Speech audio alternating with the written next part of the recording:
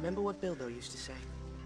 It's a dangerous business. Frodo, going out your door, you step onto the road, and if you don't keep your feet, there's no knowing where you might be.